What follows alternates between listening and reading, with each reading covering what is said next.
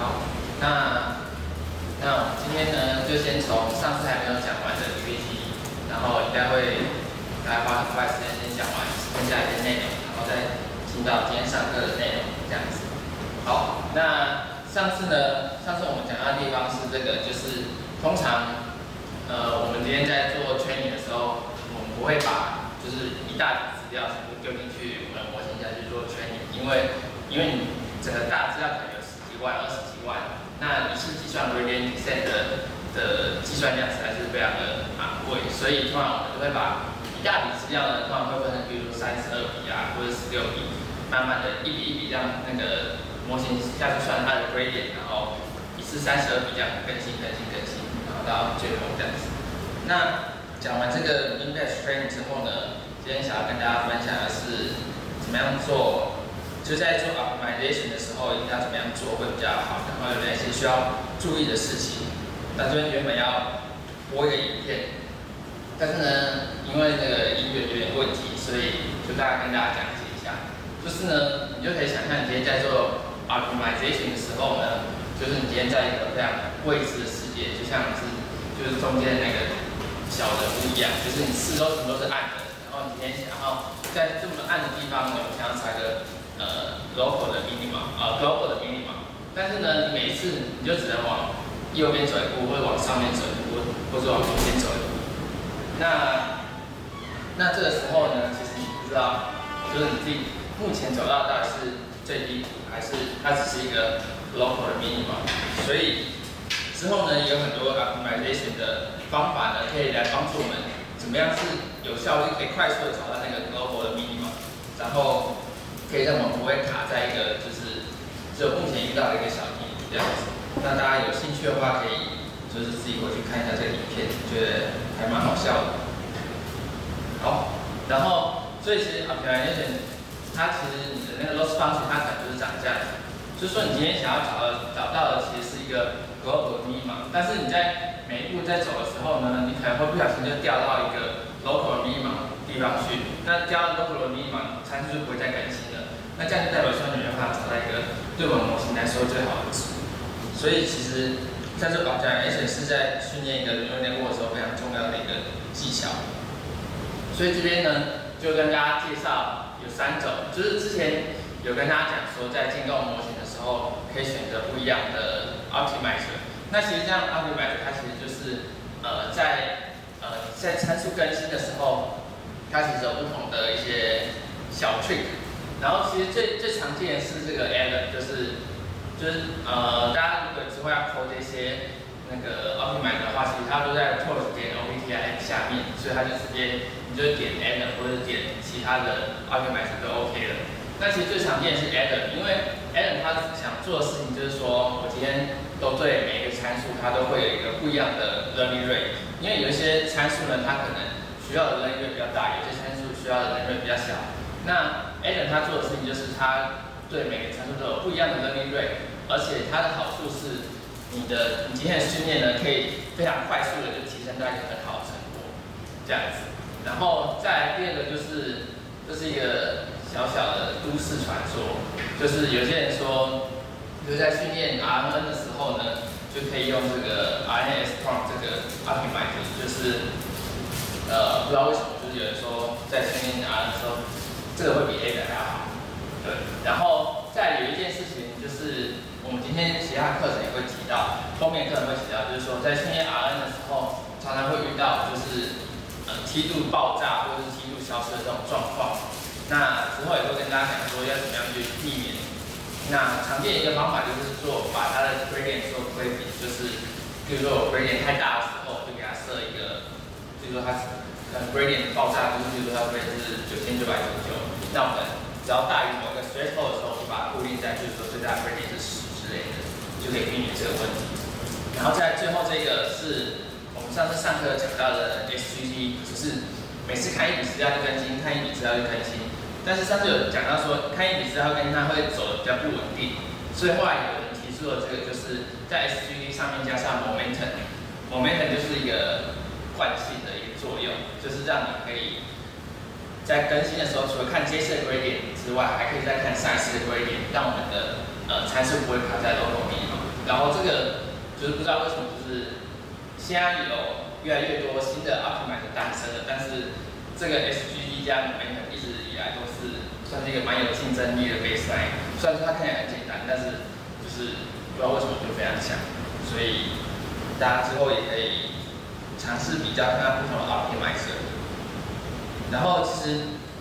也有非常多的实验，就是在比较各不一样的 optimizer。然后就像我之前讲的，就是呃，这个 Alan 它的好处呢，就是它可以在很快的时间内，它的 loss 就下降了非常多，然后就可以让大家比较快的得到想要的结果，这样子。好，那除了呃不同的 optimizer 很重要之外呢，还有另外一个很重要的事情就是你的 learning rate。那 learning rate 它这件事情是呃，什么意思呢？就是说，今天你在更新你的参数的时候，仅仅是这样，每次看一笔一些资料，然后这样走一步，然后看一些资料这样走一步，走一步，走一步。但是呢，如果你今天 learning rate 设的太大，你会发生什么事情？就是你今天走到一步，然后就直接到对面了。然后另外在对面的时候呢，你又走很大一步，又跑这边，所以你每次都走很大一步的话，永远都没办法找到这个最低点。所以其实，呃。比较好的 learning rate 呢，就是像红色这一条，就这样一步一步，然后就慢慢走到最低点。然后那比较小的 learning rate 有什么坏处呢？比较小的 learning rate 就是说，你今天它就要一直走，一直走，一直走，那它可能要走了，就你的模型可能要劝个一天两天之类，它才会达到很好的效果。所以其实呃，在进入这个登军队的时候是非常，就是你可能在之后在 train NN 的时候非常。需要去调整的一个很重要的 hyperparameter。然后，然后这边这张图也是，就是再重复跟大家讲，就是如果你今天 learning 太小的话，它就一直走很小步、很小步、很小步，那它就要走很小、走很久才会走到你的 local minimum，走到你的 local minimum。然后，但是能量太大的话，它就会变成说它每次跳动太大，所以就永远没办法收敛。所以通常呢，我们会调我们的 learning rate 呢。通常就是因为其实，在不同的模型，你也没办法去保证说，在因为你的模型参数每次可能都不一样，那所以通常比较常见的话，就是可能先是零点一，啊零点一烂掉，再是零点零零一，再是零点零零一，就是每次就这样十分之一的一直往下，然后可能在你譬如说，呃，在这两个之间的时候，你就可以，比如说在零点零五啊，就是就是中间再用 research 下去调整。然后，通常登瑞通常都不会大于零点一这样子，对。好，然后这边下面就是一张图来比较不同的登瑞，就是你在登瑞大的时候呢，可能最后参数收敛就比较不稳定，就是像这样，它的 loss 位置起起伏伏、起起伏伏的。但是如果你的登瑞设刚刚好的话，它就这样比较 smooth 的走到最下面。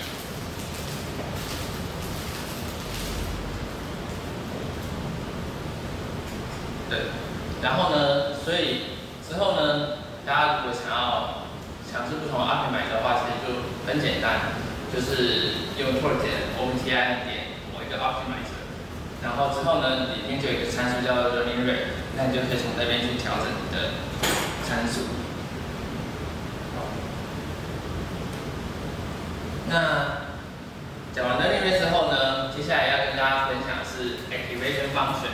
那前面我们有跟大家提到说为什么，因为经过这么厉害的原因，就是因为它可以利用 activation 来去制造出那 linear 的这 u boundary 那其实不一样的。呃 activation 方式也会很大程度影响到我们的结果。那之前我们有跟大家提到，就是呃几个 activation 方式，像是 sigmoid 啊，或是 tangent，还有 body tangent，然后叫做简称叫 tangent H。然后呢？它们这些函数呢，什么有什么缺点呢？就是你可以看到，就是我们前面不是跟大家讲说，我们在算那个更新参数的时候要算微分嘛？那大家可以看到这个呃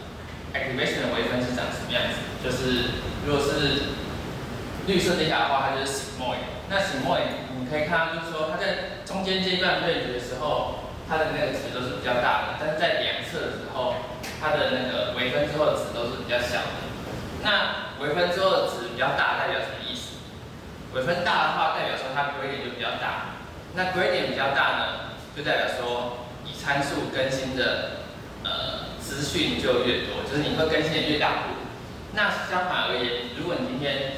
值 o u t 的值都落在这两边，就是它的 gradient 都很小的话，那是不是代表说你的参数就有点没办法更新了？所以今天一个好的 activation function 应该是在模型在大部分的情况下，它都会有一个比较大的 gradient，然后在小部分的状况下会比较小的 gradient，让我们的模型不会就是因为如果你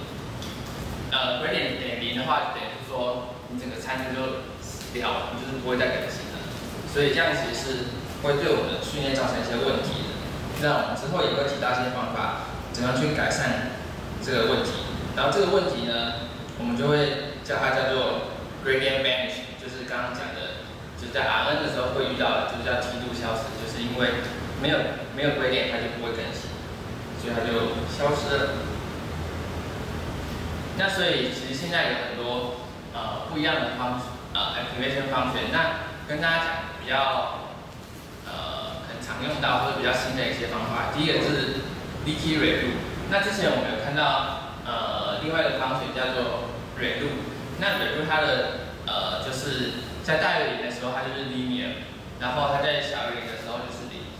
然后但是因为这样子的话，它在小于零的话，小于零的时候它的极限全部都会是零。所以其实有后来就有发明说，DT relu 就是说我今天在小于零的时候，我给它一个非常小的一个斜率，让它的值不会完全是零。这样子的话，我们的参数也会有更好的更新，是这样子。然后另外一个是 switch，然后同样也是改善的一个 activation function。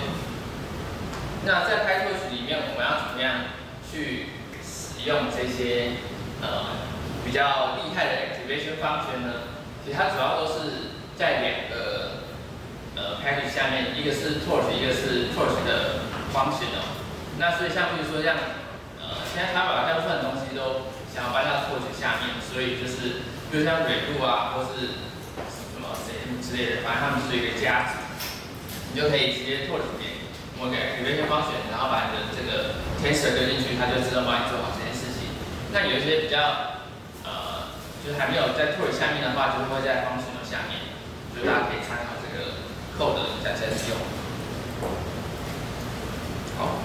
那后面这边就是给大家一些参考的资料，就是如果大家对 Python 比较上手之后，可以考虑这几个东西。第一个东西叫做 Python Lining，就是这我前阵子接触到，我觉得还蛮好用的，就是它可以让你就我们之前。不是在每次训练 model 的时候都要定义一堆什么 optimizer 啊，然后还要再写一个很多个 for loop，说我们的 base data 怎么样怎么样怎么样。然后它这个 like Python 的 lining 它就是你只要写一个 class，就是你只要定义好你的 model，然后去跟他讲说你要发什么 optimizer，我想抓什么 loss，它就会自动帮你写好剩下那个 for 回去那件事情。所以就有点像是比较无脑的去 train 一个 Python 的 model 这样子。然后而且它还就是在训练的时候会有个进度条。让你感觉比较酷炫这样子，对，好，然后另外这个东西叫做 Optuna，它这个东西就是，呃，因为其实我们在呃串一个 NN 的时候，我们常常会需要进入非常多 hyperparameter，然后像 hyperparameter 像什么，就是像是比如说我每一层 hidden layer 要几个 neuron，然后或者是我 learning rate 要多少。然后或者是我的 activation function 要设什么，就非常多 hyperparameter 要下去调。然后它这个就是有点像是一个自动帮你调 hyperparameter 的一个 package，这样就是你把你想要调的参数全部跟它讲，然后那些参数的 range 是在什么样的区间之内，你就要去，它就可以自动帮你调整出好的参数，这样。然后好，好像还会帮你做 cross validation 吧？对，好，那。我们，上个礼拜还没讲完的内容就大概到这边，大家有什么问题想问吗？好，那我们就进入这礼拜的课程。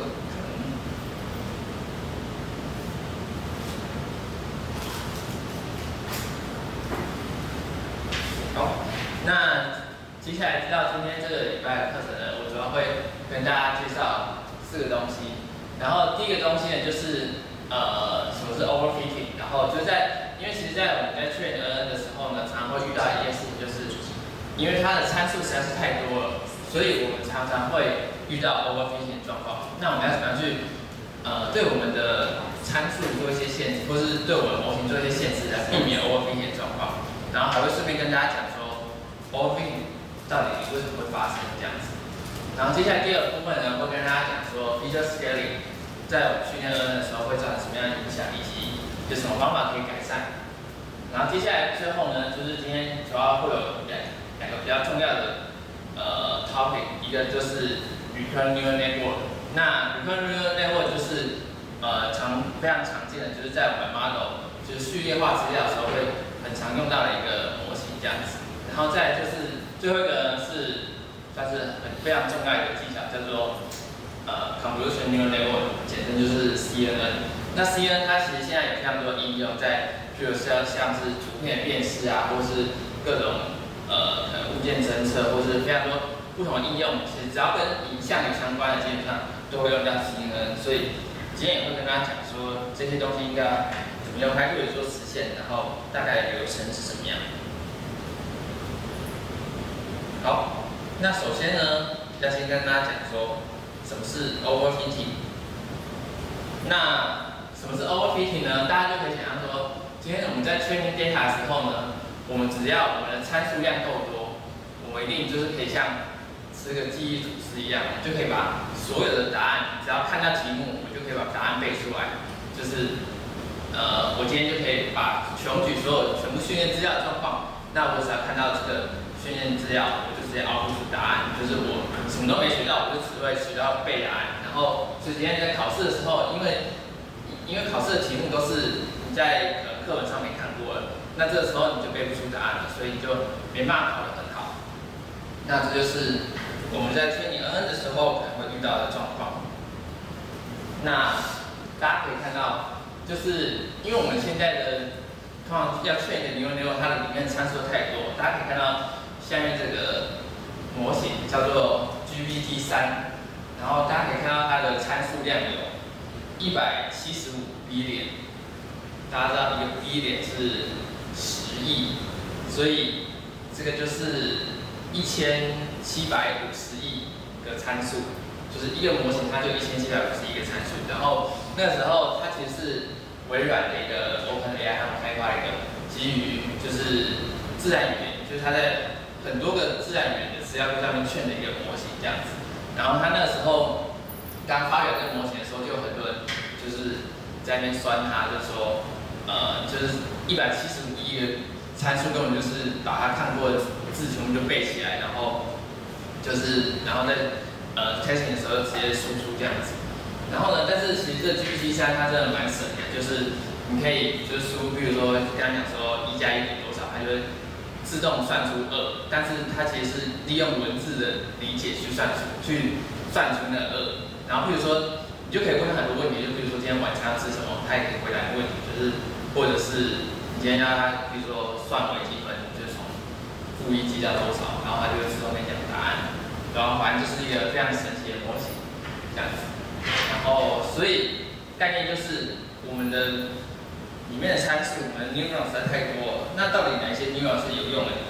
其实很多很大部分的 neuron 都是没有用的。好，那接下来这个例子呢，就是呃，我们今天，譬如说我们今天在做一个 regression 的时候，呃，会遇到状况。那么样是 overfitting 呢？就是我们这个平面上面的这些点。那 overfitting 可能就是我想要把每一个点它的那个值，就是我们会，我们一开始不是都跟他讲说，我想要 minimize 这个。点到线的这个距离嘛，那点到线距离最 minimize 就是刚好那条线就通过每一个点嘛。但是最右边那个呃图呢，你可以看到就是，如果你就是 fit 一个很奇怪曲线的话，那其实你今天是没有办法取到一个它的一个就是算是一个趋势的一个概念。然后所以呃比较好的线呢，其实就是像这样，就是它其实没有每一个点。都刚好在它的线上，但是它其实也学到某一种 pattern 这样子，然后所以总而言之呢，就是我们不能让我们模型在训练资料上面都一直做到非常完美，但是在 testing 的时候呢，就没办法很好的 generalize。然后下面这个图呢，则是在说我们做 logistic regression 的时候可能会发生的状况。如果我们今天可以无止境的把我们的 feature combination 加进去的话，那我们可能就会得到最右边的那个一个 decision boundary，就是说我真的可以把每个点都分得很好，但是它可能就是他很想要尝试的去把每一个点分好的时候，就制造出很奇怪的边界。所以其实最好的状况就是一个刚刚好，可以容许一些错误，但是又可以学到一个很好的一个方式这样子。那通常我们是怎么样去判断说，我们今天训练一个模型的时候，它到底是有没有 overfitting 呢？那通常我们就会看说，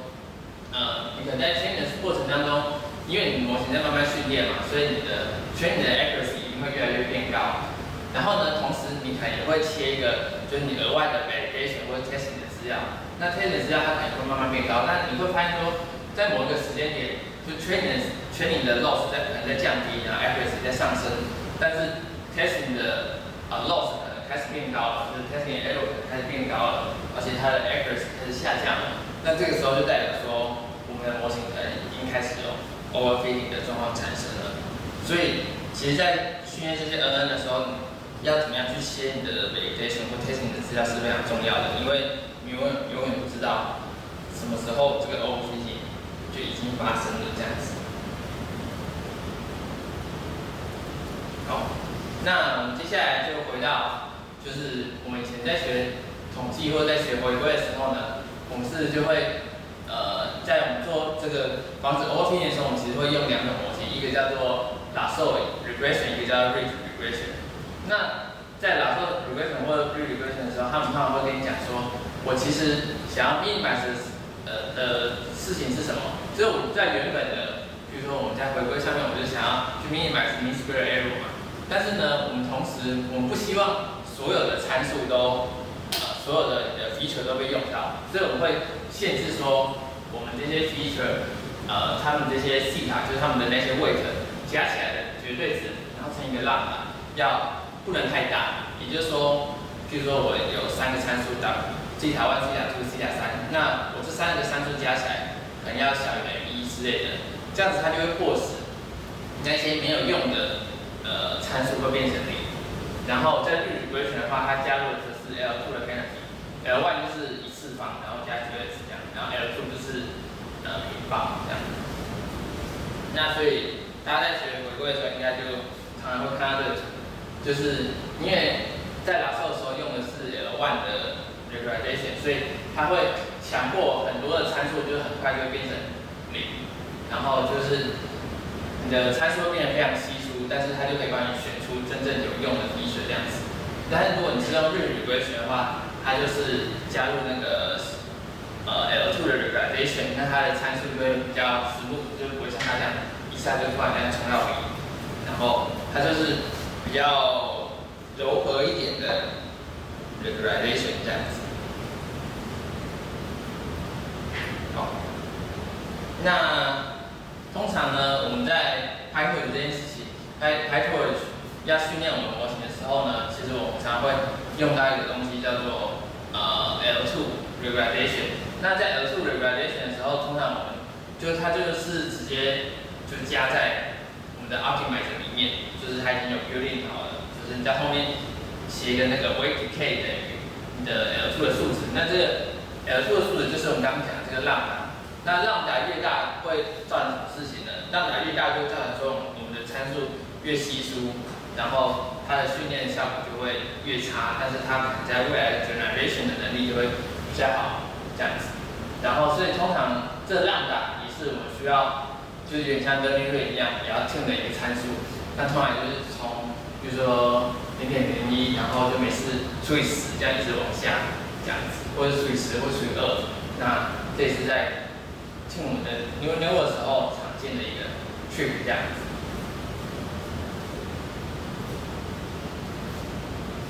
好，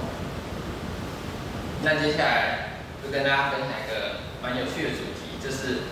在训练 N 的时候呢，常常有很多耍废的 neuron。那什么是耍废的 neuron 呢？我们前面有跟他讲，就是我们在训练 N 的时候呢，常会遇到说我们 neuron 非常多，那很多的时候时候就会遇到什么样的状况？就是其中呢会有一些 neuron 它是真正在做事的，但有些 neuron 它它可能常常会非常呃频繁的去做一些去做出一些不好的预测，就是我们这边讲的它呃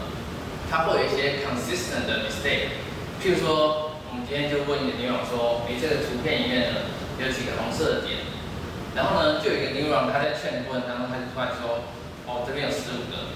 然后呢，但其实大家知道，就是这里面只有五个嘛。然后呢，因为他 output 出了十五个，但是正确答案只有五个，所以这个时候，呃，他他的同伴，只是另外一个 neuron 呢，他就必须要说，哦，这个 neuron 真的是很废，就是每次都每次都多算十个。所以呢，他必须要做的事情就是他要帮这个 neuron 擦屁股。所以呢，他就要每次就帮这 new one 护出来的结果再解释。那所以这件事情是什么？他就是要有一些 neuron，他就是必须要去 correct 这些 mistake。当他在 correct 这些 mistake 的时候，发生的事情就是他也做了 fitting 这件事情，所以就变成说这个这个 niro 是烂掉了。然后这个另外那个 nirob 呢，他为了要去帮这个烂掉 niro A，所以他自己烂掉了，就是大家一起烂的概念。对，好，那所以我们应该怎么样让这些耍废的 neuron 跟他说再见呢？就我们大家可以看到，就刚刚的状况可能就像这样，就是有一个 neuron 在耍废，它就会产生一些不好的 output。那其他的这些 neuron 呢，它就必须要去 correct 这些其他 neuron 的 mistake 这样子。所以，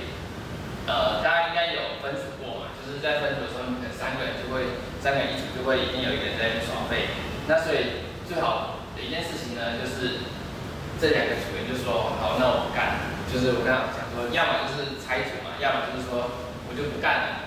那这个时候呢，上面这个女网就发现说，完蛋了，他今天没有队友了。那他今天没有队友，他怎么办？他就只好学会自己去完成这个任务。就今天他就说，好吧，那我队友都没办法做出正确的 prediction 了，那我是不是一定要自己学着自立自强？所以他今天呢，他就学会了要去做好的 prediction 这件事情。所以这件事情呢，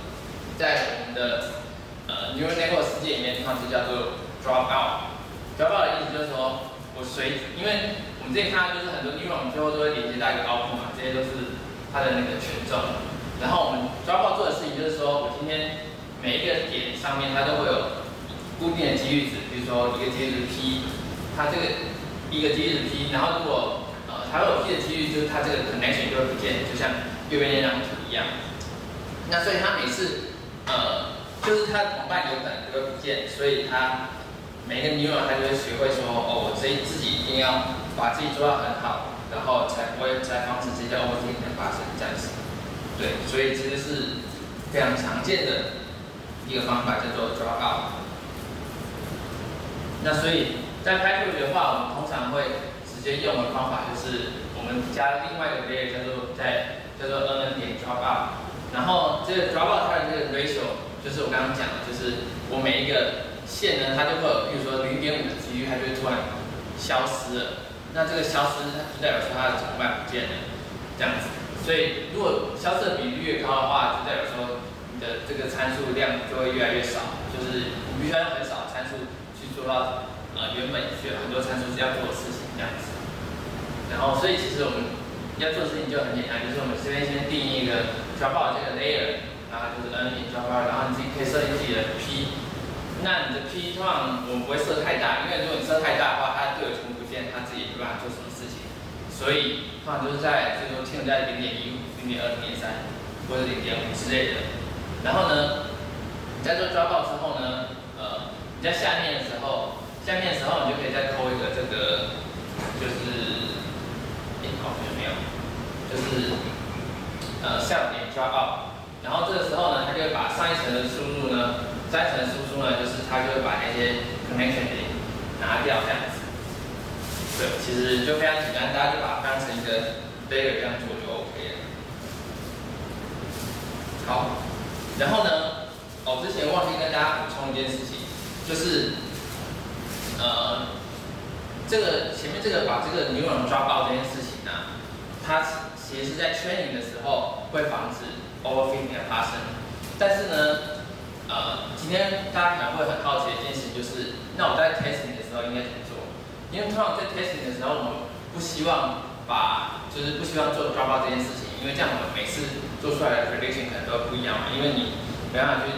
预测说我今天 dropout 掉的是哪些位置，哪些 neuron 这样子。所以通常在做 dropout 做 dropout 在做 testing 的时候呢，就是我们会把这些线呢，就是全部都连起来。就是我们先假设它呃，就已经每个 neuron 都已经学会非常有用的资讯了，所以我们就会把这些位置都全部都留住。但是你就想，呃，这样会发生什么事情？就是因为原本我们这个 output 呢，它收到资讯可能就是前面它只有 p percent 的资讯会被留下来，所以今天呢在做 testing 的时候，我们通常会把它乘以一减 p percent 这样子，因为这样子它才可以跟 training 的时候它的那些呃 output 是 consistent 的。好，然后呢？所以今天呢，我们这边就用一个非常简单的例子，然后就是我们模型就是刚刚第一个就是 dropout 零点五的那个模型，然后今天呢，我们的 x 是全部都是一的一个 input，然后大家就可以看到说，我今天 input，然后出来 output 的时候，它其实每个值出来的值都是不一样的，因为它在每一层的时候，它 draw 的那个 neuron 不一样，所以今天你即使 input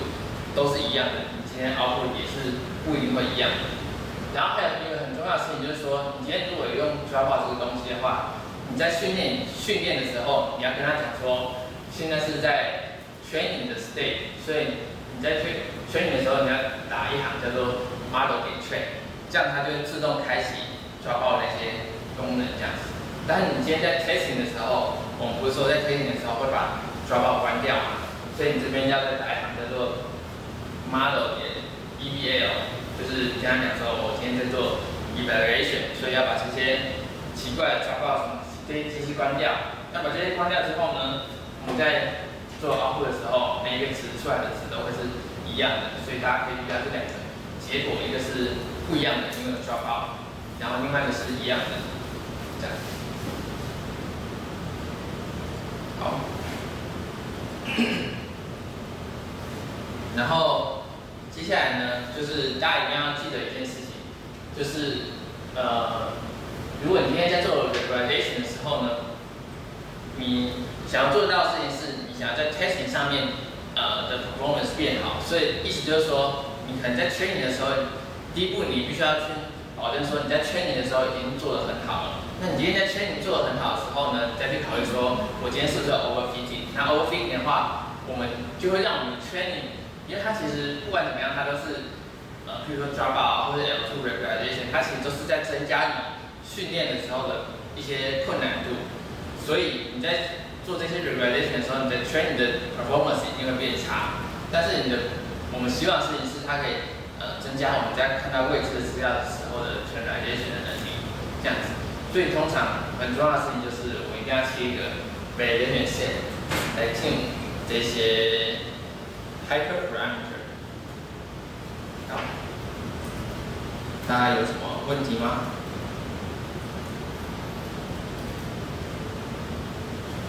那我就继续讲。那下一个地方呢，要跟大家分享的是做 feature scaling。那 feature scaling 会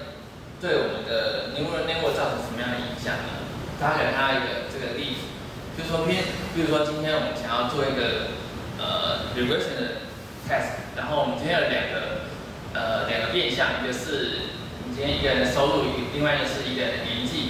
那我们要做的事情就是，我们这个收入呢，它就承担一个 weight，然后年纪就承担一个 weight，我们就找一个 prediction 的 output。那 prediction 的 output 呢，跟真实的答案去算一个 loss 嘛。所以这边算完十点二三跟二十算出来的这 SSE 大概就是九十。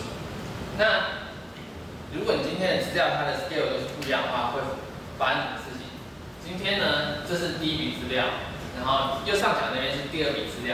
第二笔资料那个人他的年纪一样是二十三，但是呢，他的呃他收入比较高，他的收入有两千块。那你看哦，他收入有两千块的时候，我整体的 SSE 会变成多多少？因为这边我们就假设他的位置都是一样的，那一样的话，他的 SSE 是不是就会直接从九十五直接变到零点零五，就很小。那接下来右右下角这个例子呢，它是收入一样是一千块，但是它的年龄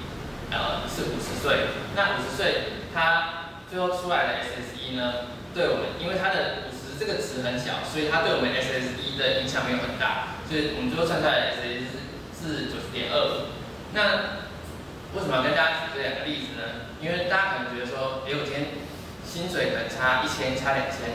可能大家觉得很正常嘛。但是从二十三岁到五十岁，其实差了蛮大的 gap 的。但是这两个东西，如果这两个东西都是一样重要的话，它这个才差一千块，它 SSE 就直接小了不行。然后另外一个是它差五十岁，但是它 SSE 还是没什么变化，这样就是很怪？而且还有另外一个问题。就是今天 SSE 小代表什么？就是肉子小。那肉子小前面跟他讲，肉子小会发生什么事情？就是鬼点就会很小，鬼点会很小的话，你的参数就没办法更新，所以就不行了。然后呢，右边这边呢是它的参数它的 loss 是很大的，然后你今天你在更新你的 W 的时候，它就会有很大的鬼点。那你今天更新的时候就很大一步。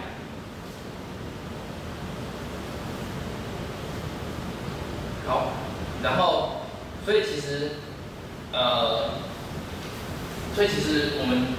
必不须必须要避避免这件事情发生，所以我们通常会想要做到的事情就是，如果 x one 跟 x two 其实是一样重要的话，那我们应该要做的事情就是说，呃，因为我们前面讲，就是这个东西呢，它会让我们的呃 gradient update 很快，然后这个东西会让我们 gradient update 很慢，所以今天呢，我们这个 w one 它应该要有比较小的 learning rate，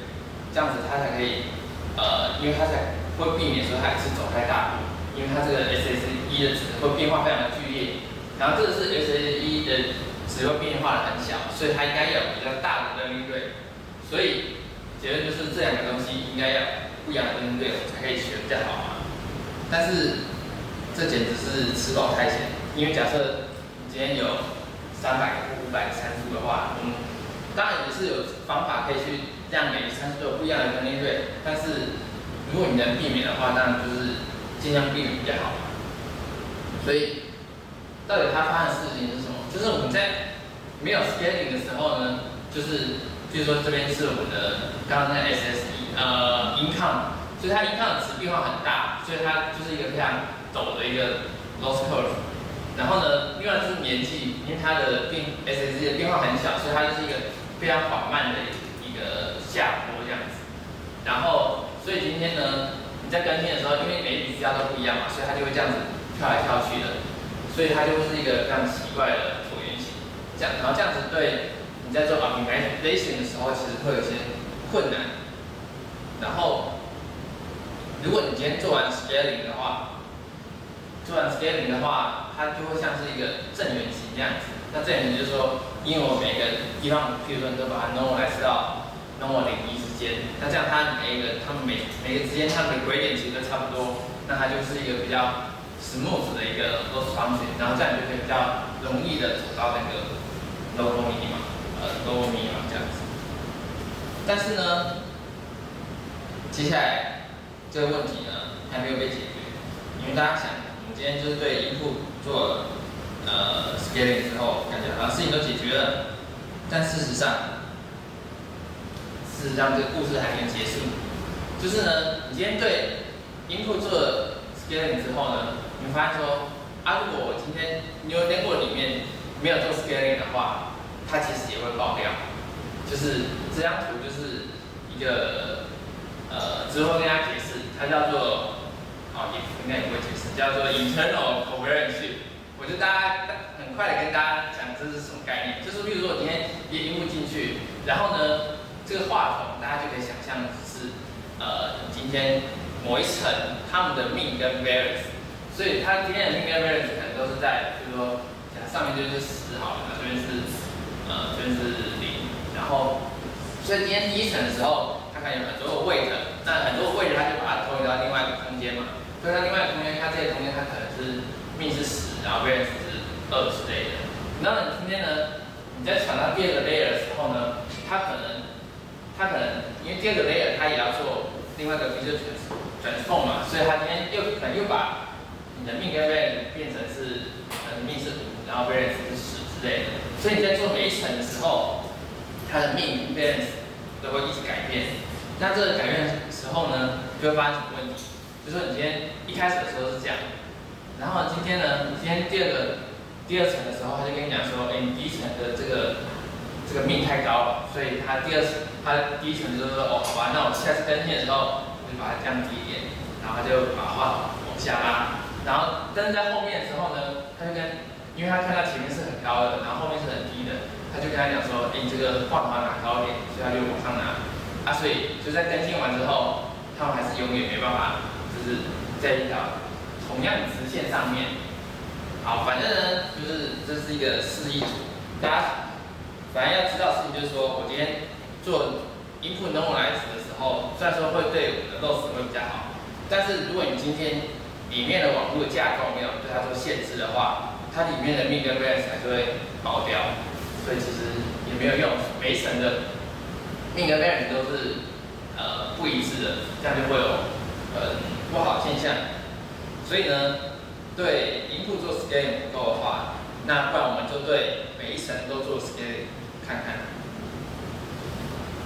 所以呢，后来就衍生一项技术，然后这项技术其实是非常重要一个应用，叫做 batch normalization。那 batch normalization 就是他想要做的事情，就是说，之前不是跟他跟大家讲说，呃，我们通常一次就会拿三十二笔啊、六十四笔这些资料。来做计算 gradient training 吗？然后今天呢，这个 batch normalization 的概念就是说，我今天就这样抓一笔资料进来，然后我今天抓一笔资料进来的时候呢，我就可以在每一层的时候呢，都计算这些资料，他们在每一层 neural network 里面的 mean 跟 variance。然后所以这边呢，大家可以看到这个这是演算法整个流程。所以就是说我今天这 m 是我的 batch size，就是可能是三十二或者十六。然后我今天呢？我就在每一层的时候都算那一层的命跟那一层的 variance，因为我们有很多笔资料，我们可以算命跟 variance 嘛。然后呢，我就把它做个 normalize，就是 normalize 到 normal 零一这样子。那这样子的话，我每一层的 output 就会被呃都 normalize，就是 n n 的 output 都会被 normalize 到一个固定的区间。那这样的话就可以解决我们刚刚讲的那个 covariance shift 的问题，这样子。然后呃，反正呢，它的原理非常复杂，但是主要的概念就是它对每一层都做 scaling，然后之后会跟大家讲要怎么样做。然后呢，这样子的话，它就可以解决这个命跟 variance 不一样的问题。但是呢，大家要注意一件事情，就是说我今天在做 batch normalization 的时候，一定 batch size 不能太小，因为大家学过统计就知道，就是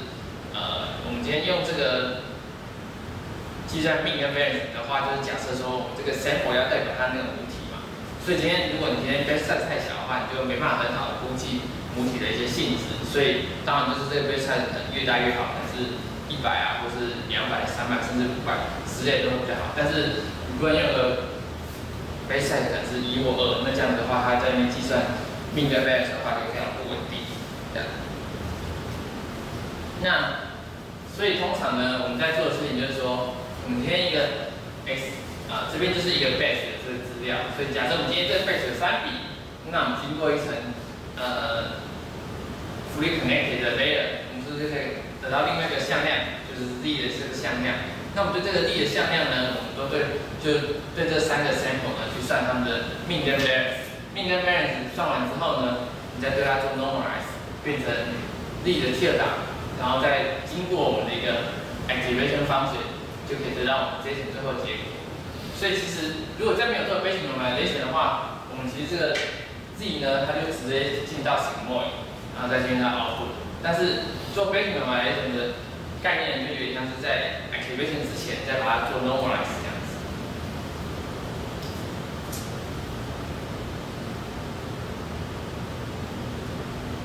好，然后接下来是我们今天在 Python 里的。后呢，我们应该要怎么样去实做 batch normalization 这件事情？然后大家要记住一件事情，就是呃，batch normalization 你一定如果要用的话，就一定要每一层都用，不然如果你前面用了，后面没用，那是不是就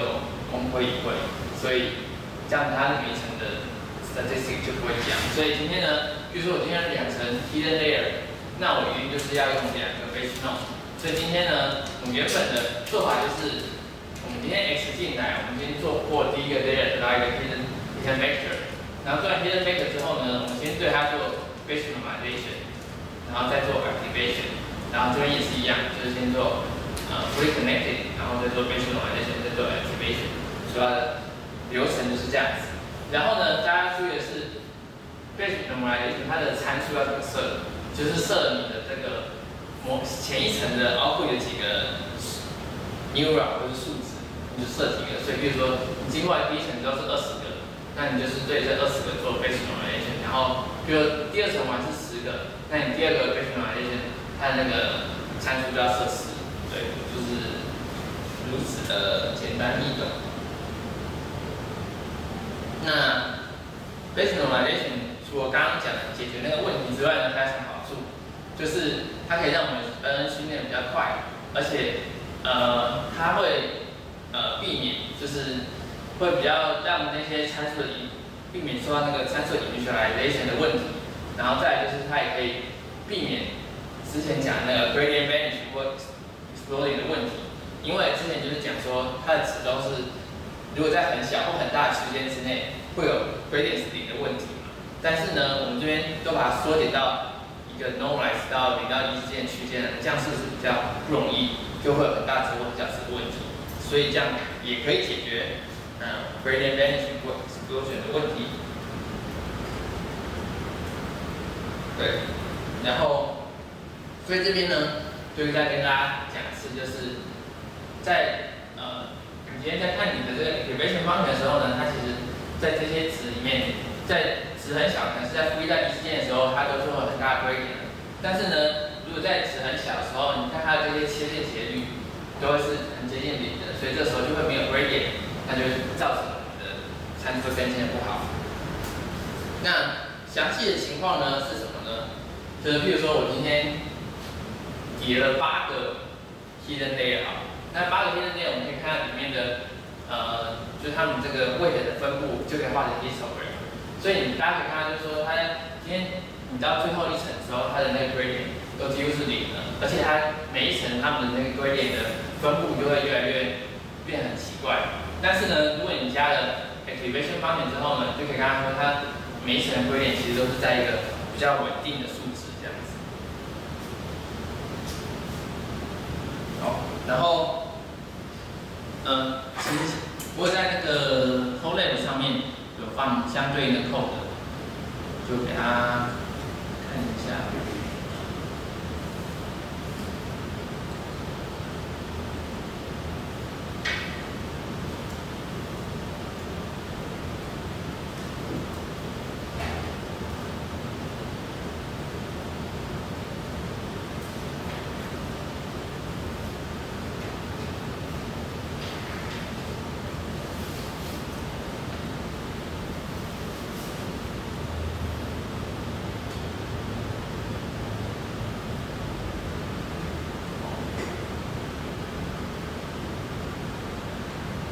就是像上次课堂上讲的一些东西，有后来都把程式码放上去，所以大家如果上次有些东西还没有做出来的话，也可以再回去看。然后，嗯，这边呢，我有加了一个 block，是在跟大家讲说要怎么样用 prevent overfitting，然后用 L2 跟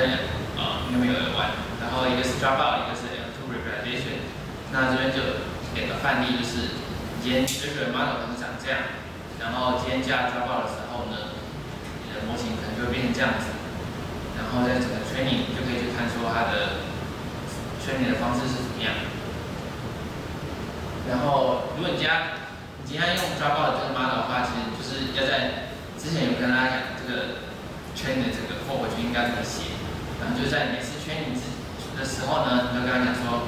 我是 model 给 train 这样子。刚开始的时候爸要开始，然后在 L2 Redition 的时候呢，主要就是呃在你这个你的 upping 的后面要加 v，vdk，然后这边就是你的 L2 跟那个 Lambda。好，然后比较重要的是这个 basement redition 这边，然后 basement redition 这边呢，呃，我这边给大家秀一个 demo，就是说呃，我今天如果给。我们的 bias 设计一个非常不好的 initialization。什么是不好 initialization？就是我今天的 bias 都给它设在很极端的位置，比如说这个负二这个位置。那负二这个位置呢，它就会造成我们的 gradient 几乎是零，然后这样它就没有办法更新。所以这样会造成什么样的问题呢？就是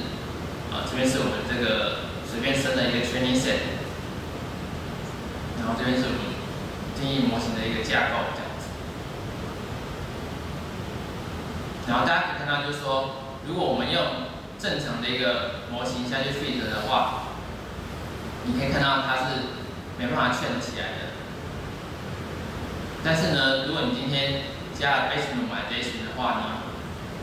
它的训练过程呢，它就不会受到参数的初始化的影响，它就可以学到比较生物的这个方式这样子。对，好，然后